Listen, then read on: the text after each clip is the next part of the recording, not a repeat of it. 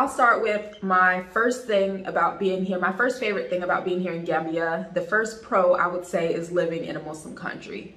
Um, I really, really am enjoying living in a Muslim country and going out. And when you go out, you know, you just see the Muslims, you're constantly giving the greeting and hearing the greeting, and it just feels really good, you know, to constantly be reminded about Allah. If you're out in the in the marketplace, you hear the adhan when the prayer time comes in even the huge the, the largest marketplace here which is in Serekunda you know when they actually have a masjid out there you know so when the when the prayer time comes in they call the adhan all of the muslims like they leave the shops they drop everything and they go in and they pray. Yeah so gambia is a muslim country and it's over 90 95 percent muslim so I will say that because I am a Muslim and I'm a mom, I'm a mother of eight, all of my perspective is from a Muslim mother's uh, point of view. So a lot of my pros are, are going to be basically things that I feel like are have made a huge impact on my on my my home, my family, you know, and our um yeah, huge family lifestyle.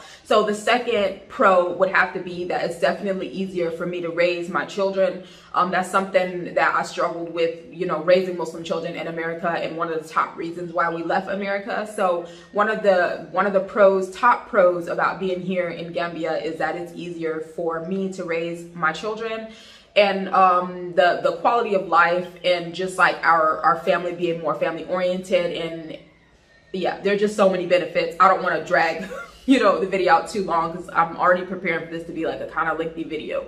But yeah so um definitely like it's it's more family oriented and the the culture is more family the, the culture in itself is family oriented and then it's also easier um i've seen a lot of benefits and advantages of being here and raising children. Yeah so my children my children have a higher quality quality of life. Um we have better relationship i have a better relationship with my children. So i said i won't drag it out too much about that topic but yeah.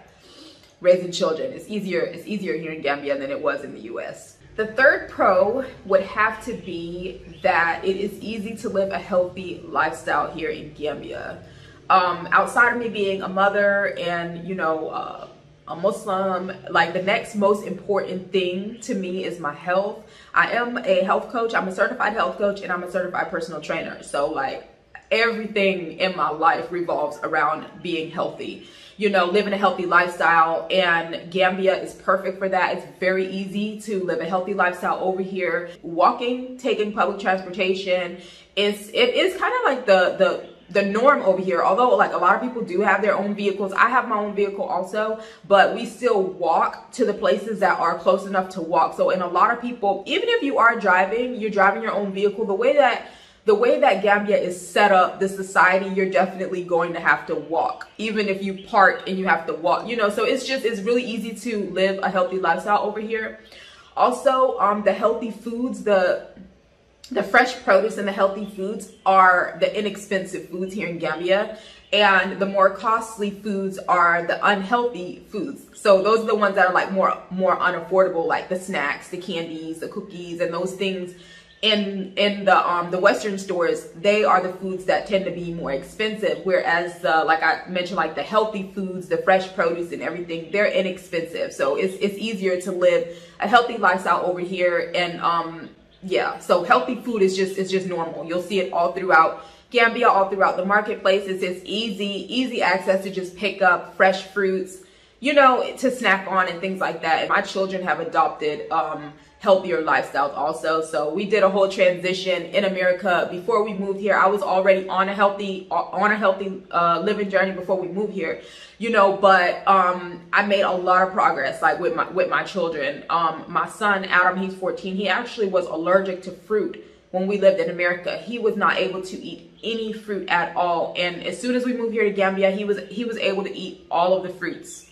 all of them. So yeah it's it's amazing. Um, so yeah, the the healthy the healthy lifestyle, the healthy foods, that's definitely one of the top pros about being here. So for number four would have to be um, okay. So I talked about like healthy lifestyle. Number number four would have to be like reduce stress. It's a stress free environment, and I kind of feel like that's also um, has a lot to do with health and wellness because it's mental wellness, mental and emotional well-being. Like the the lifestyle here in Gambia, it's it's really laid back, it's stress-free. I feel like even even when I am experiencing stress, because stress is a is a normal part of life. It doesn't matter. It doesn't matter where you live. You know, you're you you will encounter certain levels of stress.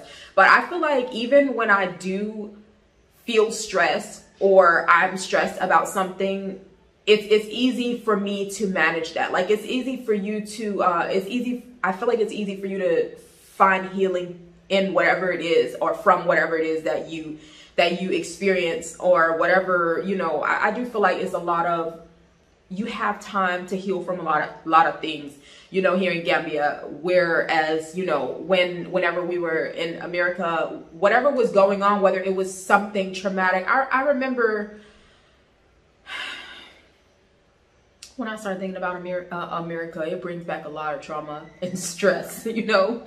But yeah so you know a lot a lot of times you you go through things even if they're really traumatic you don't even have time to heal from it because it's so busy you have to get back to you have to get back to work you have to get back to your life you have to get back to like the hustle you don't have time to heal from things you don't have time to take care of yourself you know so you have time to take care of yourself here in gambia it's a slow pace laid back stress free um, lifestyle if if you're a person that values your health, your well-being, your physical and mental health and well-being, then yeah, that's a huge pro and benefit of being here in Gambia. You get to take care of yourself mentally and physically and focus on your health, get your, your life together in that aspect.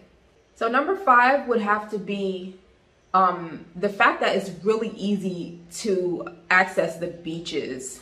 I should I should have put that up higher on the list because I go to the beach so much it's crazy how close the beach the beach is like five minutes from my house um 10 minutes in in heavy you know if the if the traffic is heavy and then there's so many other beaches like i haven't even been to all the beaches here in gambia and there are just so many beaches to choose from i love the nature you know so even if i do have like a stressful day or I'm feeling overwhelmed just with life in general because I am a mother of eight. And of course, like being a mother is hard and overwhelming anyway, but you can only imagine, you know, mashallah, I have, I have eight children. So even when I get like overwhelmed or I'm dealing with something really stressful, I can just, it's very easy for me to just go say, okay, I'm just to go to the beach you know, unwind, listen to the the ocean, you know, get my feet wet, whatever, and I, I can just decide like at the spur of the moment, I'm gonna go to the beach and just enjoy whatever, a few minutes,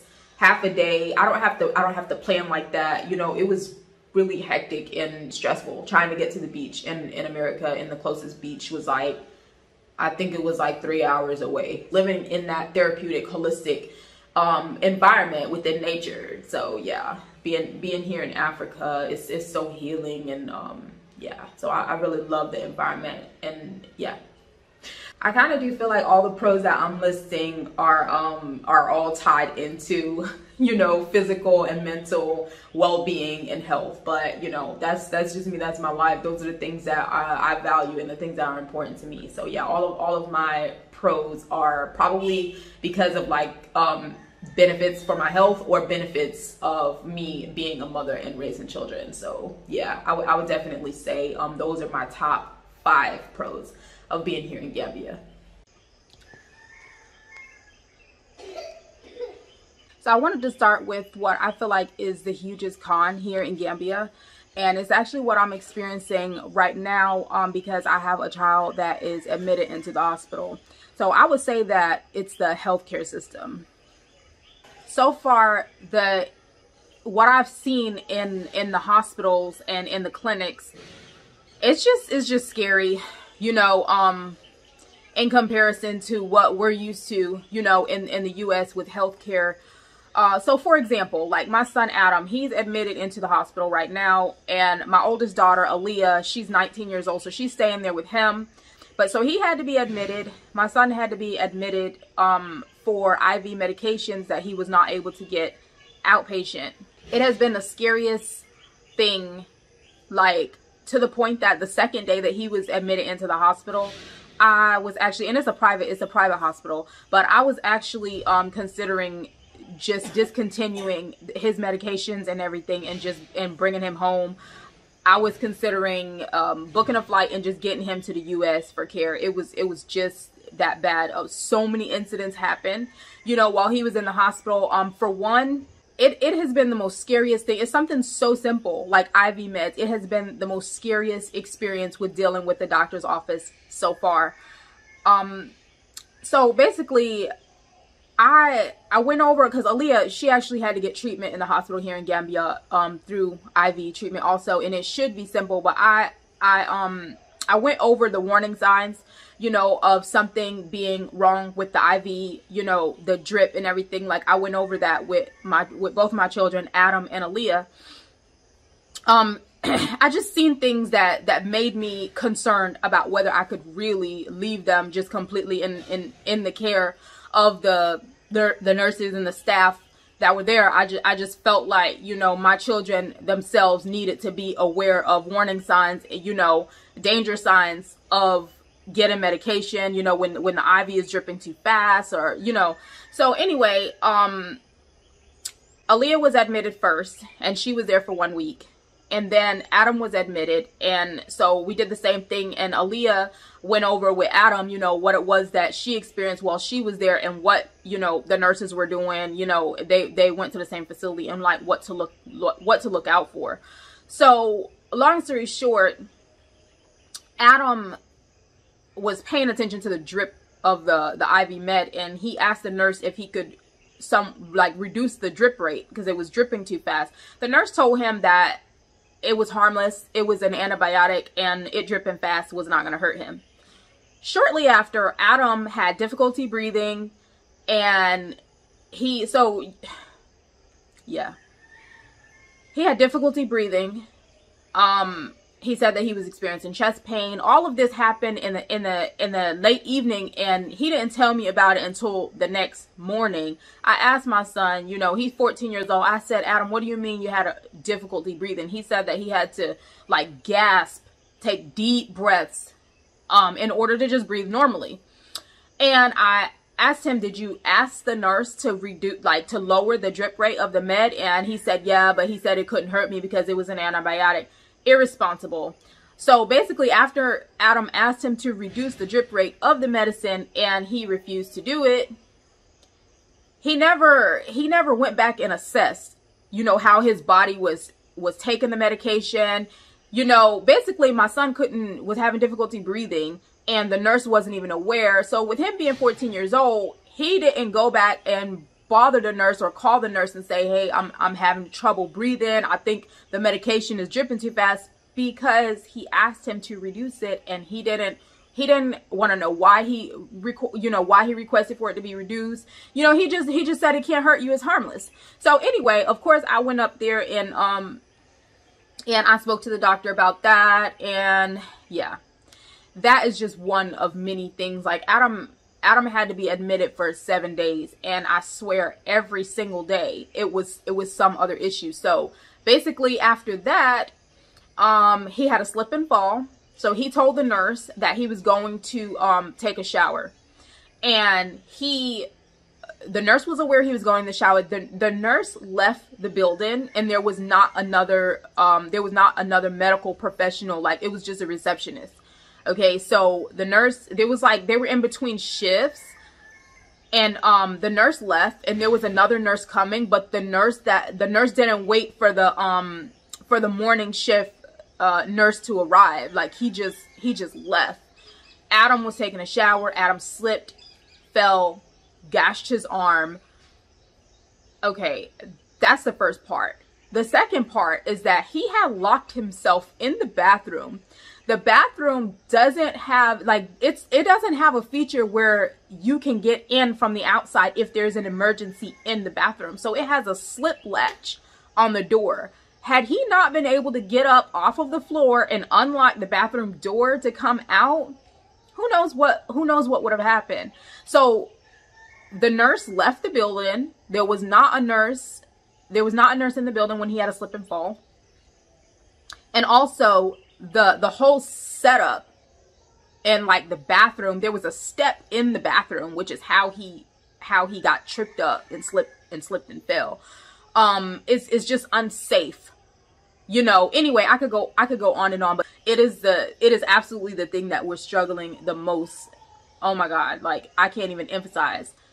It's it's just horrible. it's horrible. Like the healthcare. And that's not just one facility. Like I've definitely experienced more than one um facility and I don't I don't care to mention like what where we were because I just feel like it's not necessary for me to go and, you know, taint the name of any partic- particular place, but it's probably not to matter because it's like the it's like the mindset. The mindset is like really laid back and I don't I don't know.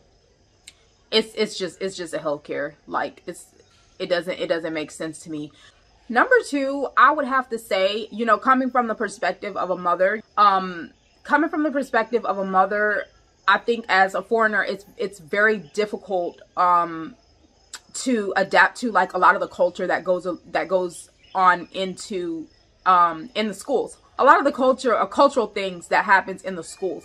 So for myself, you know, I had uh, my three my three girls. Their ages 11, 9, and 8. I had them in the the local Quran school you know, and I had to pull them out because of like bullying that was happening in the school. Bullying culturally is actually normal. It's normal for teenagers to basically hit and do whatever whatever they want to is you know to younger children um discipline them hit them you know what whatever. Like it's it's it's socially acceptable.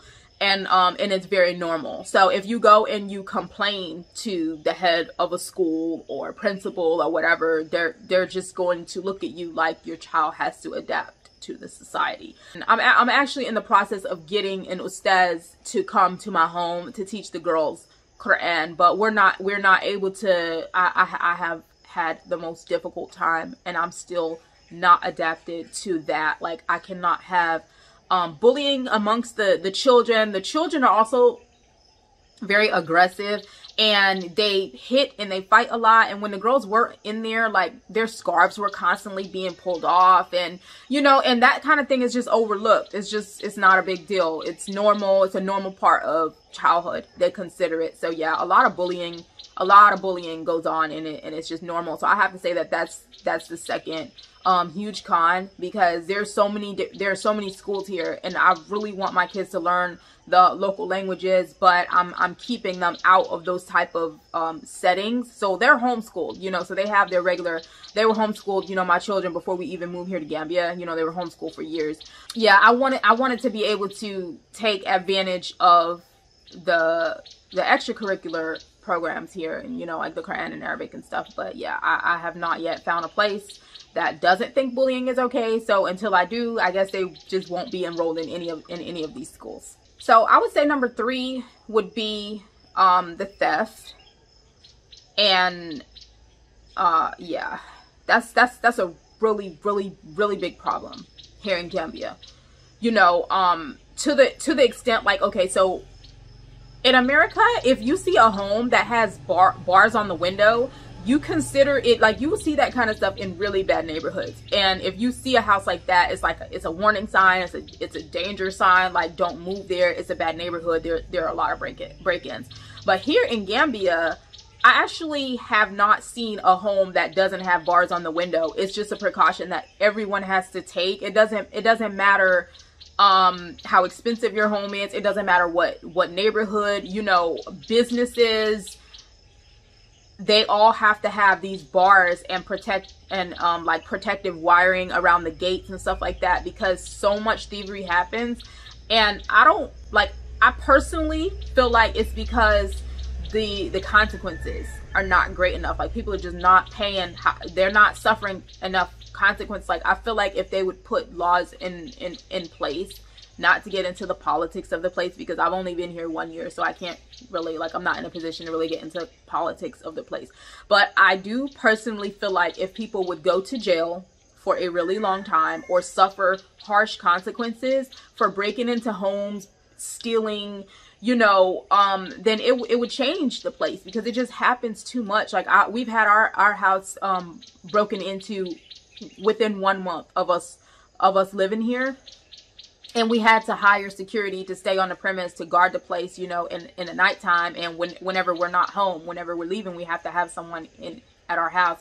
And most foreigners do have to do that. They have to have some form of security or you know there, there's just so many different instances. It happens every day all day businesses, homes, apartments, it doesn't matter. Like if you're not even it happens to locals also, like Gambians, they they get their, they get their places broken into also, but it's more so um foreigners. If you're not from here, you definitely have to have um your your home, your your place where you live, you have to have it protected by some some um form of security. So I would say that that's number 3. Um but for me, so the food sanitation. Food sanitation was a big deal um, it's very interesting that a lot of people here do not believe in germs. Okay, so I'll put it this way. If someone doesn't believe in germs, that means that there's no problem with cleaning the bathroom with a cloth and then using the same cloth to clean the kitchen. If you don't believe in like contamination or cross contamination, then you you don't do that. So a lot of people, I will not say everyone, but I will say most people here in Gambia do not believe in germs. So, you know, a lot of times people get sick. It's not the food or the water that's making them sick. It could be like strands of E. coli or something. You know, so yeah, that's that's a big one, food sanitation. The power outages definitely take a lot of time to get used to um, you will adapt to it and get used to it if you're here, especially depending on the type of mindset that you have about it. If you kind of have like it is what it is and just work through it, you know, go day by day, then you know you you you adapt to it. But it's definitely a huge con, um, especially if you're working from home. You know, you have an online business or something like that, and you move here to Gambia, you will experience power outages. Sometimes, um, yeah, like you have to take you have to like charge your charge up your phones charge up your computers charge up all of your electronics and keep them charged because you never know when when the power is going to go out. If the power goes out and you had something that you needed to do online and your computer is dying or dead then you can't do your work or whatever it is that you needed to do online. So that can be a huge con of being here. Um, another one is internet but that goes with like it just depends on i guess it depends on what you need what you need it for. Even if you're not just like mindlessly browsing the internet but like some people have businesses online i work online you know and um it, it can be like a huge inconvenience when the internet it doesn't matter like for whatever reason it can just go out. And it can be out for hours you know it can be it, it can be out for a part of a day.